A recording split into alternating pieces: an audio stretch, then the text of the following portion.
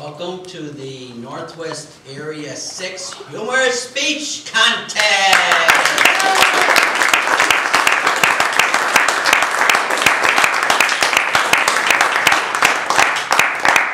Speaking order is Tim Bolgers first, Stacy Latona is second. Let the contest begin.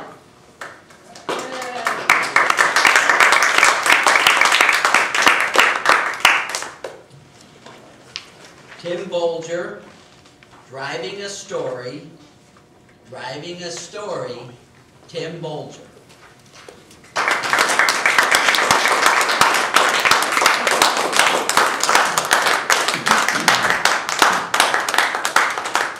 I start this speech off with a question. How many of you actually drive your cars every day? And how many of you think that you're excellent drivers? I'll tell you, I know I'm an excellent driver. Why? Because I literally learned driving through what I call the school of hard knocks. What do I mean by the school of hard knocks? Accidents, tickets, lots of time in court, and perhaps maybe even a traffic school thing or two. Let me start off this whole, uh, oh, by the way, this is car, I'm 51 years old now, and it's car 24 since high school. Not including the three I had in one month. But that's a story for another day. Just imagine you're, you're, as a parent of a teenage kid, and you let your son drive out to a practice for athletics. Kid's fairly responsible, he knows about it, but all of a sudden at 10 o'clock, hello, Dad, uh, guess where I'm at? The police station. Well, it gets even worse. At about, when I was 17 years old, I remember going to wrestling practice. My dad was tired that morning. No, Tim, just go ahead and drive yourself. I don't have to worry about a thing. Little did my dad know that there was two feet of snow on the ground. Second of all, we had what we call a Dodge Maxi Van. These things were huge in the 70s, big block V8 engines, and a big 12 passenger compartment. And here is a 17-year-old driving his way through the snow, fishtailing and all, to wrestling practice, which we found out later was canceled. Well, as I'm driving up a hill, I see this nice little police car at the top. I'm going up the hill, he's coming down the hill, and I bet you, you guess what happened. Boom! I hit him. Oh, I cracked up at 17 years old a Lake in the Hills police car. And that call at 10 o'clock in the morning was from the state authorities saying, Tim and this police car, we have to bring in an impartial authority to figure out where the accident happened. And of course, because it was snowing out, they had to actually chip through the snow to find out where the lane markings were to determine who was at fault. No. Maybe a few years later, clean record now, eight years, no speeding tickets, no accidents, I decided to get a job delivering pizzas. Freshly out of service, thinking, ah, it's an easy job, no problem. All of a sudden, traffic violations start racking up, rolling stops. One mile over the limit, three miles under the limit, passing a school bus. Could you believe I racked up eight of them in one month? Eight traffic violations in one month. And I had a clean record. Well, here's the rest of the story.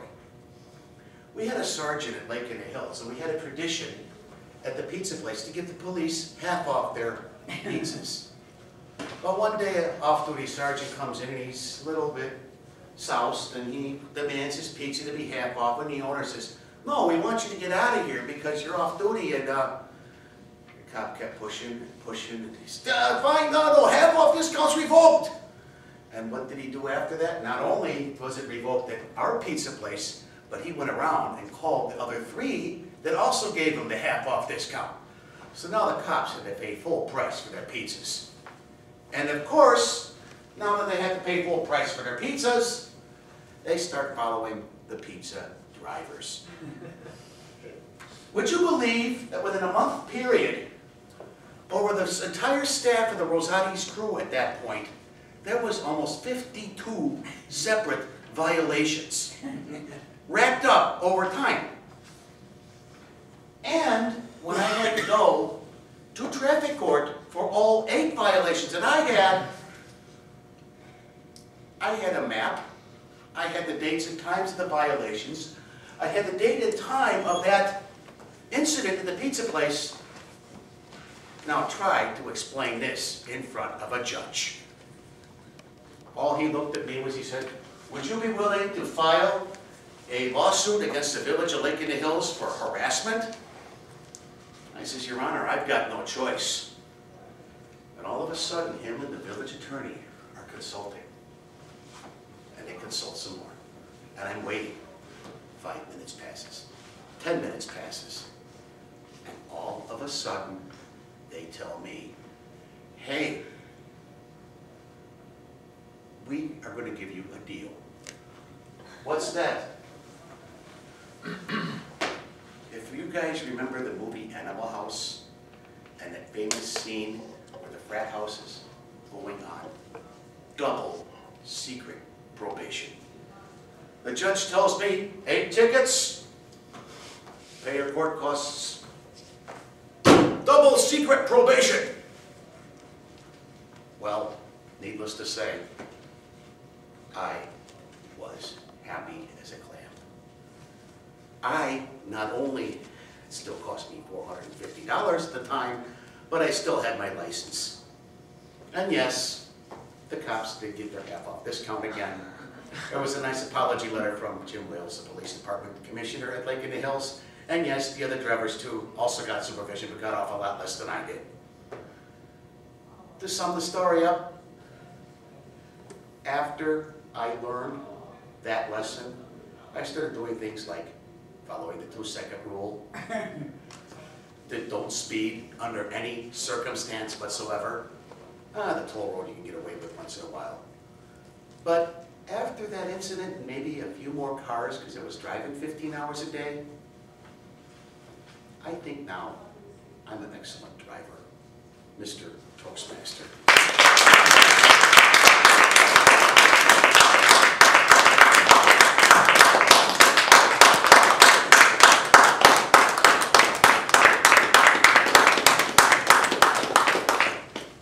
May we have one minute of silence while the judges uh, mark their ballot?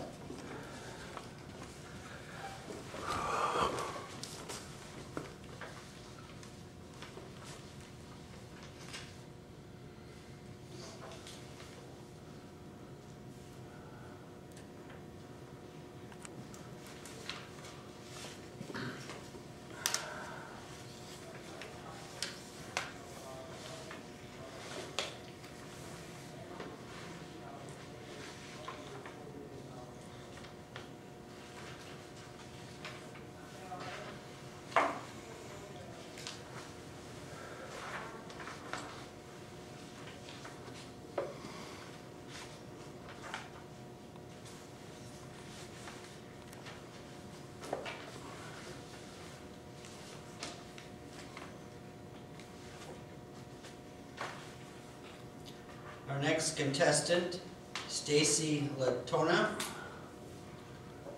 Born sucking on a lemon. Born sucking on a lemon, Stacy Latona.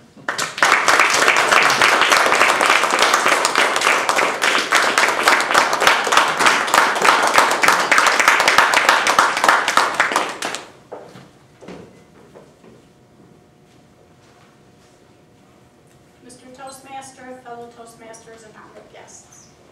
Salt and pepper is a common condiment you will find at your dinner table or any restaurant's table. While growing up, my family's dinner table condiment was lemons. I I grew up in a Greek immigrant family. And like most Greek immigrant families, my family was totally convinced that the rest of America had backwards. Using salt and pepper as a condiment instead of lemons was one example. While I was at school, I hung out with my American friends. We talked about American music and American holidays like Thanksgiving. But when I got home, Greek music was the only music playing. It wasn't the Greek music you're used to hearing when you walk into a Greek restaurant. It was Greek folk music. It has a very distinct and unusual sound. It sounds like somebody is strangling a bellowing goat. and Thanksgiving feasts were truly feasts. 40 people plus, aunts, uncles, grandparents, cousins, all gathered around two long banquet tables, pots and pans full of food enough to feed twice as many people, and we all sat around and enjoyed eating lamb with lemon sauce. We had spanakopita, feta cheese, Kalamata olives, just like the pilgrims. oh, I'm proud of my heritage. I'm proud that my ancestors invented democracy, philosophy, the Olympic Games, mathematics. What I'm most proud of is that my people celebrate holidays late. Greek Easter is one week after regular Easter. I'm proud of the fact that we are the only people that can claim to have risen Jesus for a second time in a week. Sometimes Greek Easter is five weeks later. That's good for two reasons. Number one, it's later in the season, and we may have a more successful roasting a, a lamb on a spit. And number two, our candy is cheap. We buy the broken chocolate bunnies and the rock hard peeps. None of you bought. It took me a few Easter holidays to realize that chocolate bunnies actually have ears. One bad memory of Easter holidays. We did this because it was tradition. After a three-hour-long church service, which began at midnight, we would come home and eat a stew of lamb innards, liver, lungs, kidneys, intestines. You can imagine the smell. Oh, we try to cover it up. We threw onions and a whole bunch of dill in there. But anytime I would complain of the smell, my parents would say, just squeeze a little lemon on top. That will do the trick. Spring car drives. They were my family's favorite. And it was a tradition also. Inevitably, every time we'd go for a car drive in the spring, my father would come to a screeching, squealing halt on the side of the road. Before I could dislodge myself from the back seat floor, my parents would be out with knives in hand and bags in hand. They would walk up the grassy embankment, bend over, and harvest dandelions. They'd bring them home, cook them, and serve them with a drizzling of olive oil and a squeeze of lemon juice. to this day, I have not owned up to my American friends that my parents used to pick weeds from the side of the road.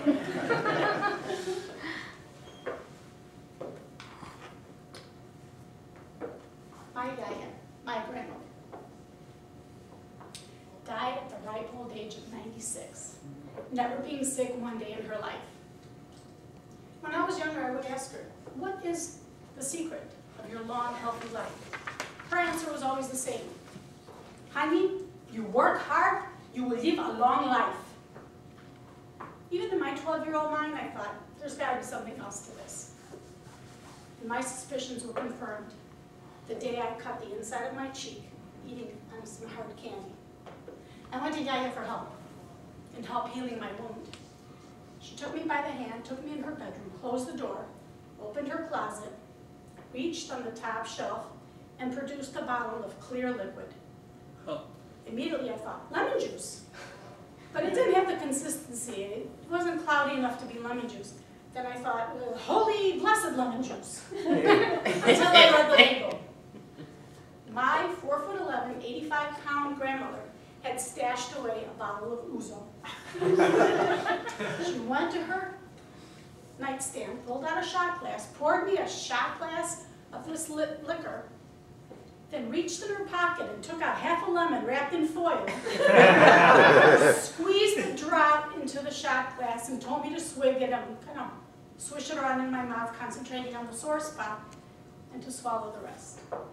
Then she told me that she had used Ouzo all her life to cure anything from toothaches to headaches to preventing colds. I love lemons and I cook with them often. I like to think I work hard, and I do indulge in the occasional shot of Ouzo.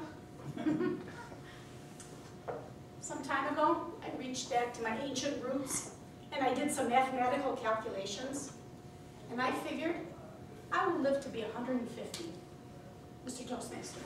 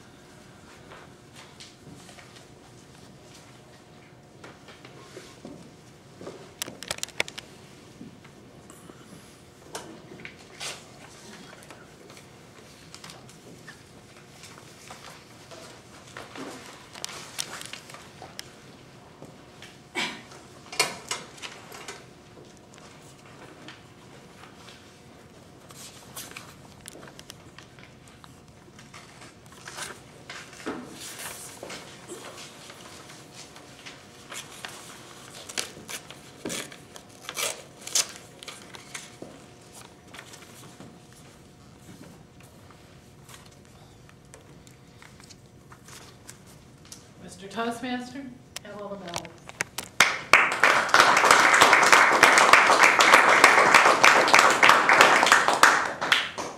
Wasn't that a great contest or what?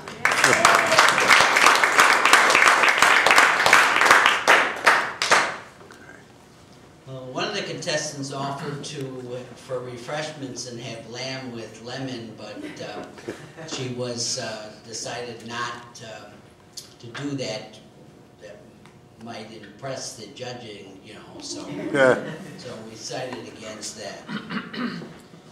So let's get a chance to know these two humorous uh, speaking contestants. Uh, First speaking was Tim Bolger. Tim, come on.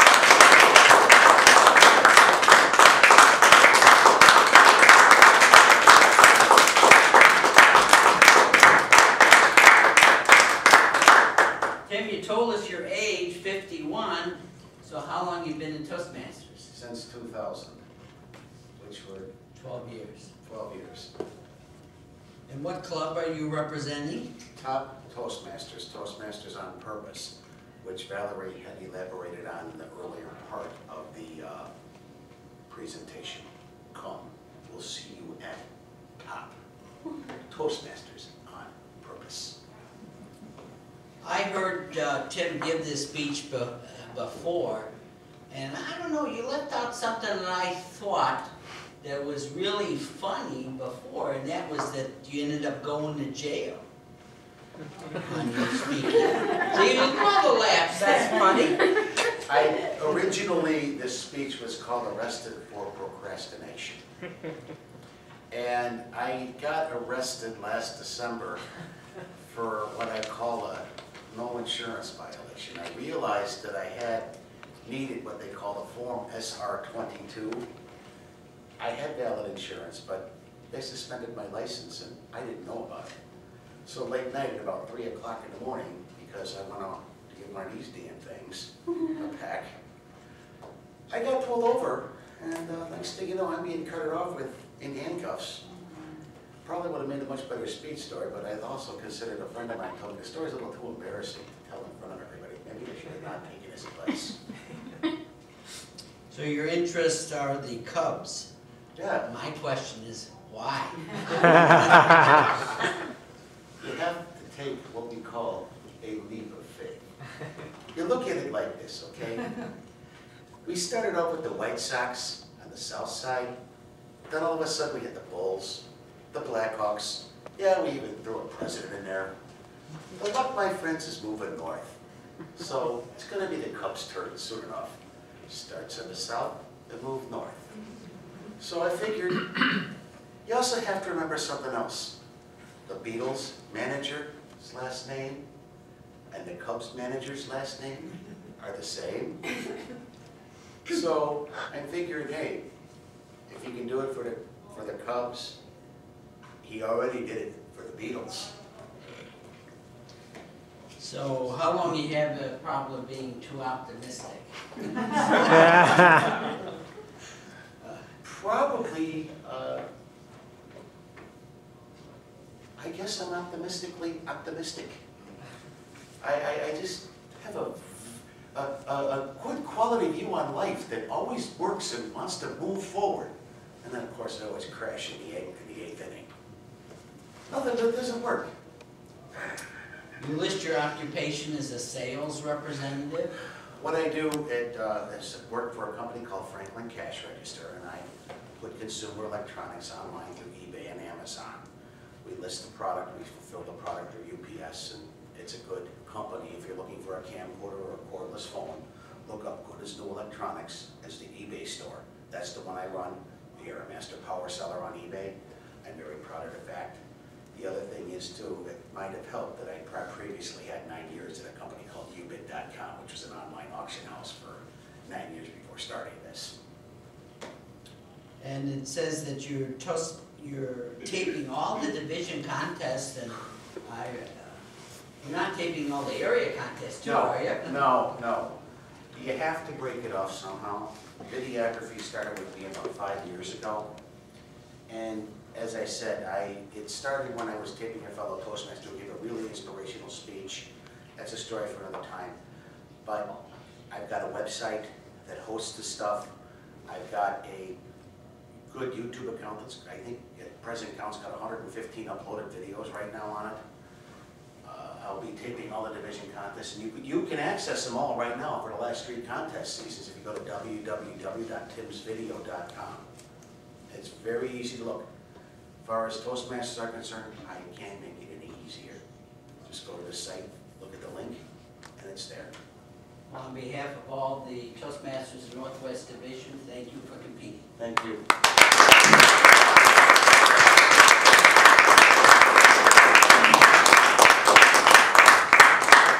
As the winner of the last year's humor speech contest, watching yourself in the contest helped me improve greatly in it. And the, the best thing that I can give to the two contestants here, if they would like to be at the district and to win the district, is three things. Number one, practice. Number two, practice. And number three, practice. Our second speaker was Stacy Latona. Stacy, come on up.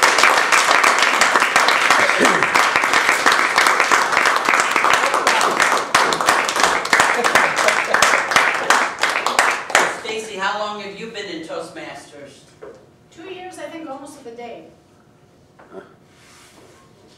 And what club are you representing? On Prospect, fifteen hundred, friendliest club in the world. Yes. And do you hold any office in I the, am VP of membership. What does a VP of membership do to get members in the club? talk to anybody, anybody you come across about Toastmasters. Wear your Toastmasters pin whenever you can to incite people to ask about it. At work, friends, book club people, Your notable accomplishment is, you want to tell the people? and notable accomplishment. Yeah, that you wrote down. Completer CC. That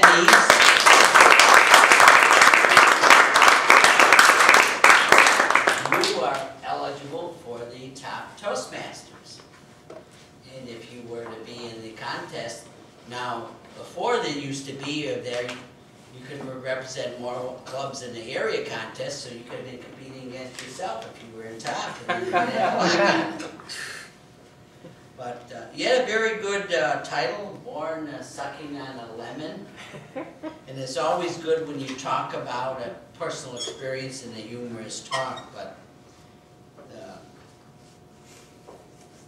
the question I have with that, what made you come up with the idea of talking about your family? And is any of your family ever gonna hear that speech? Some have. I've actually sent it out to my sister for some critiquing. Uh, It's nothing new. You know, we know how we are. Opa! Try lemon as a condiment, it's the best. It's the Low cure. calorie. Yes, It's the real Windex. yes, the real Windex. Yeah. Well, on behalf of the Toastmasters in the Northwest Area Six, I can't speak. I congratulate you and thank you so much.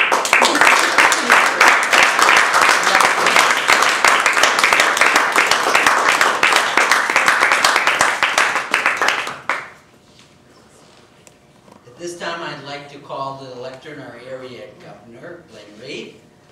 We'd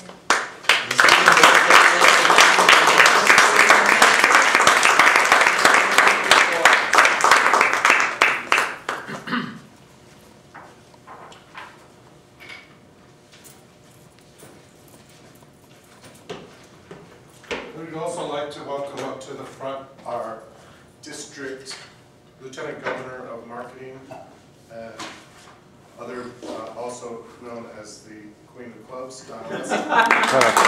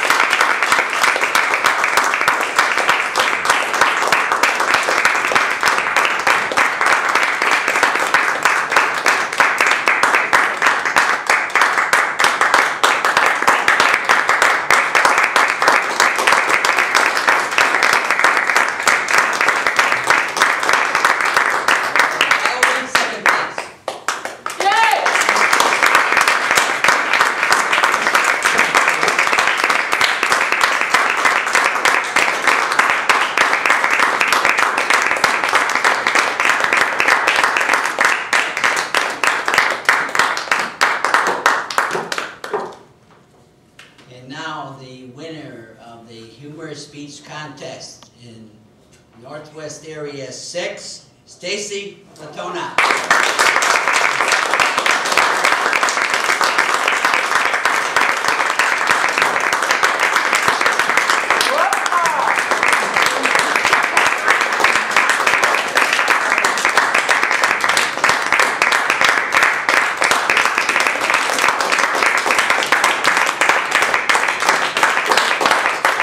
Our Second place winner is Tim Bolger, but he's busy Taping. taping this, so We'll take it to you. Bring it will Thanks. take the award and bring it to him. Delivered.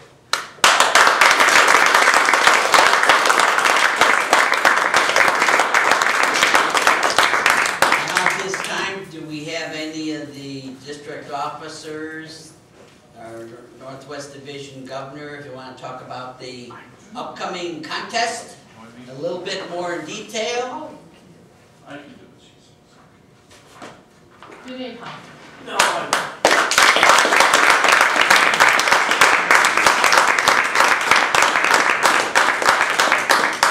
So I am here to tell you, remind you, prod you, cajole you, beg you, plead with you, suggest that October 27th, you join us at the Holiday Inn Willowbrook for our District 30 Fall Conference. The keynote speaker, as you can see here, is Craig Valentine. Craig is a former world champion of public speaking and will be presenting a, actually a series of presentations. His first responsibility of the day is he will be speaking to the Achievers Breakfast.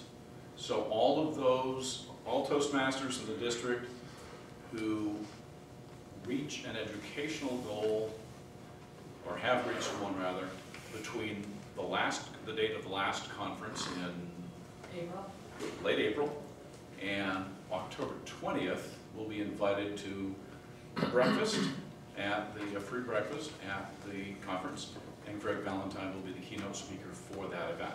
He will also be speaking during the day, but will be the featured, will present the featured keynote speech at the evening dinner as well. During the course of the day, the two big events are the district level evaluations, speech evaluation contest, and the district finals of the humorous speech contest. So Diane and Stacy will be continuing on from here to compete at the division level, which I mentioned earlier, September 29. The winners of each of the eight division contests will be competing against each other in the district finals held at the fall conference.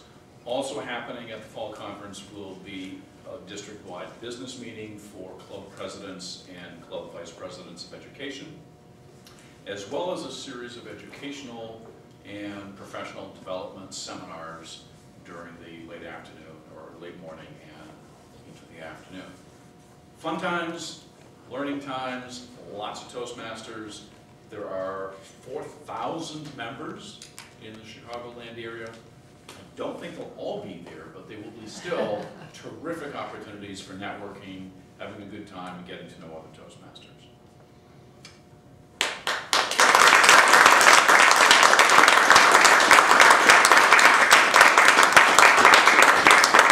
I really don't. I didn't see a green light even. Yeah. We set you up. Well, we're just about concluded with our speech contest. One, another advice I can give to the contestants, especially in the humorous uh, Stacy, is to contact John and ask, tell him that you want to give that speech in as many Toastmaster clubs as you can before the division contest. And then continue that if you win the division, to do that at the district level. Because I have a little secret to tell you. I've been in Toastmasters thirty-two years, and up until last year, I had reservations about speaking in front of the District thirty and forgetting lines. And that was the main thing that when suggested to go to other clubs and do it, and I kept on doing it. And I found out is that's what I needed to do all along if I wanted to win that contest, is not only be more comfortable giving the speech, but follow the suggested improvements in the evaluation. I had a individual form for evaluation, and I handed it out to all the club members, and I asked each one of them to evaluate me. And not only did you get one evaluation orally, excuse me, but you also got from every member of the club. There, but sometimes that can be depressing because I went to one club. It was on a, on seven o'clock on a Monday morning. Not one person laughed during my speech. And, and out of all the clubs I visited, they gave me the worst evaluations and so forth, but don't, don't let the bad evaluations, but if, if it keeps on coming up on various clubs, then maybe you need to give it a rest on a particular one, but that's my take on uh, trying to win the humorous speech contest. I'm doing it, but I was honored to be your Toastmaster for the evening.